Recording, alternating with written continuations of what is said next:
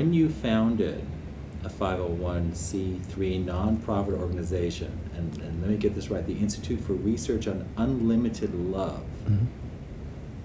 through which you founded research at more than 60 universities on the science of unselfish giving and its underpinnings of philosophy and spiritual wisdom. How did that come about? I got the very good fortune of meeting uh, Sir John Templeton in about 1994. He was a famous investor. He founded the Templeton Mutual Funds, which are now Franklin Templeton. Uh, Sir John uh, had sold his funds and uh, was starting to support work in the area of what he called spiritual progress.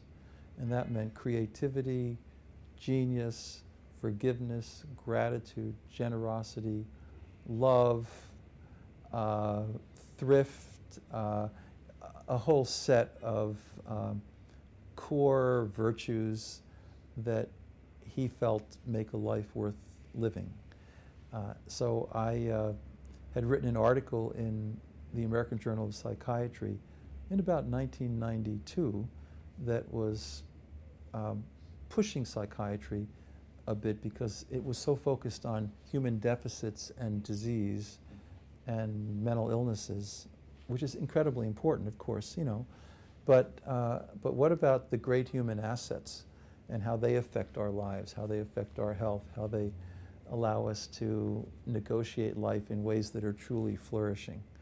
You could bring the best methods of science to that, developmentally, uh, spiritually. You could, you, could, you could look at brain scans. You could do everything you do with human deficit, but apply it to these great strengths. So I was so in 2001 I was sitting in my office in the medical school at Case Western where I was a professor and I got an early morning fax from Sir John.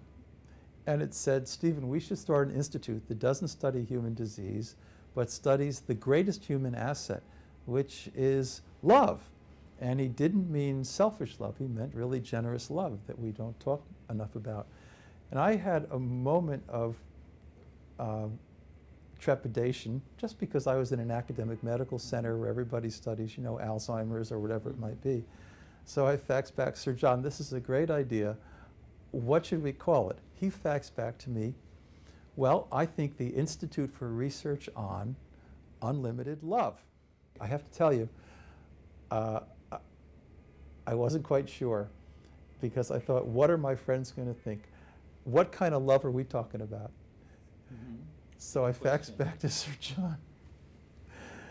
Uh, maybe we should call it the Institute for Creative Altruism because that's very dry and sciency. And he faxed back, no, I think Institute for Research on Unlimited Love, $8.9 million. And I faxed back, Sir John, I, I love that language. It jumps right off the page. It's great. and, and it worked, and he was right because we were able to connect with science but also with all the great spiritual traditions in a way that was much more effective than anything else would have been.